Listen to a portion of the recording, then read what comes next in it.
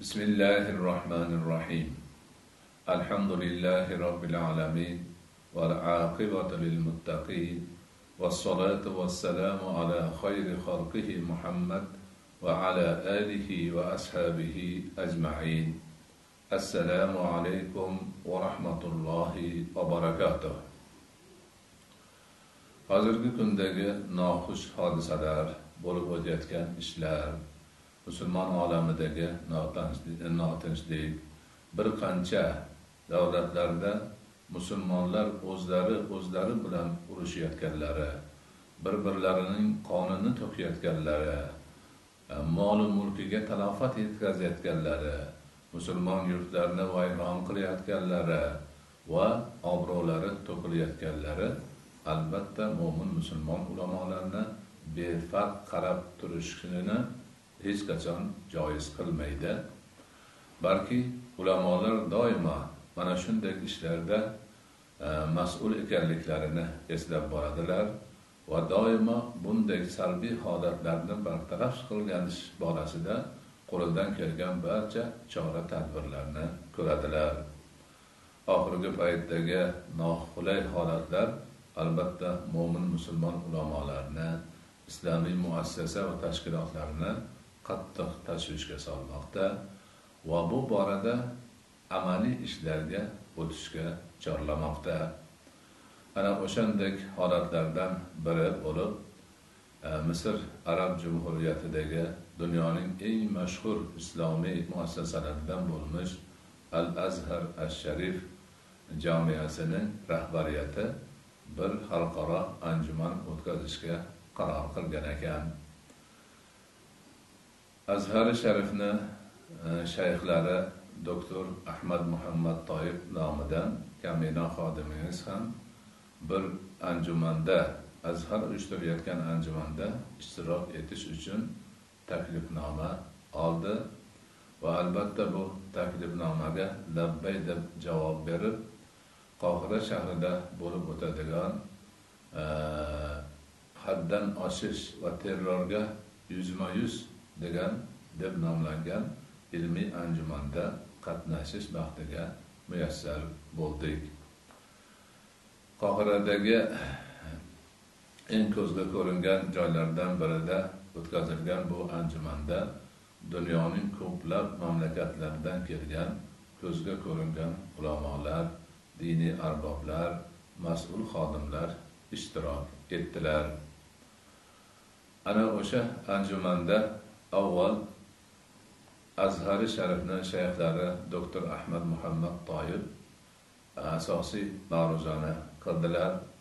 Bu ma'ruzada hozirgi kundagi yuzaga kelgan musulmon olamidagi fojialar dahshatlar qon to'kilishlari vayronachiliklarni asosiy sabablari nimadan iborat ekanlari va kim tomonidan keltirib chiqarayotgani juda chuqur tahlil qilindi va unga kerakli bahonalar baholar ham taqdim qilindi.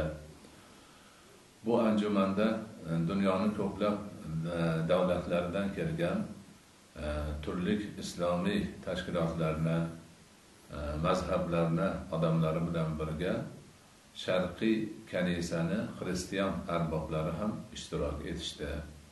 Ana o'sha nasoro diniga mansub turli cherkovlarni vakillari ham bu musibatda musulmonlar bilan birga sherik ekanliklari ular doimo musulmonlar bilan birga yurib ularni yaxshiligini ko'rganlari hozirgi kundagi og'irchiliklar musibatlar musulmonlarning faqat o'zini boshiga emas balki o'sha xristianlarni boshiga ham tushganini qattiq ta'kidlashdi.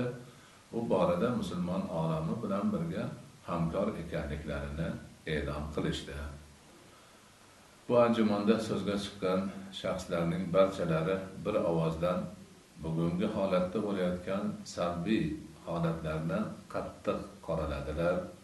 Uning aybdorlari islomdan bexabar ekanliklari g'ururga ketgan insonlar ekanliklari ulamolarni gapini olmayotgani oqibatida mana shunday ayanchli holat vujudga kelganligini qayta qayta ta'kidlashdi.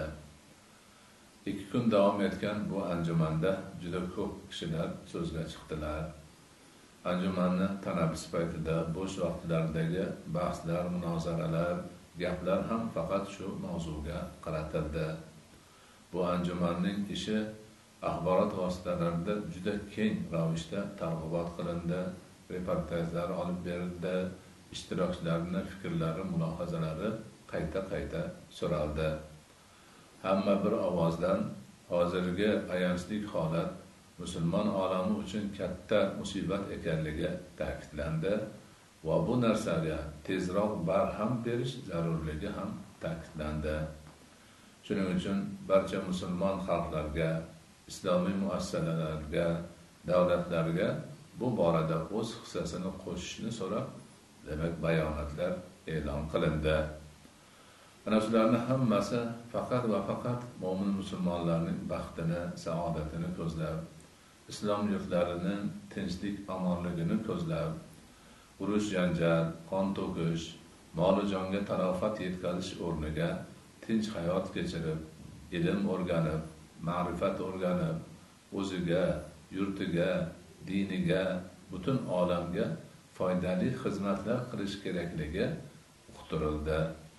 Alloh subhanahu va taolo ushbu sa'y ko'chishlarni harakatlarni barakotli qilgan bo'lsin.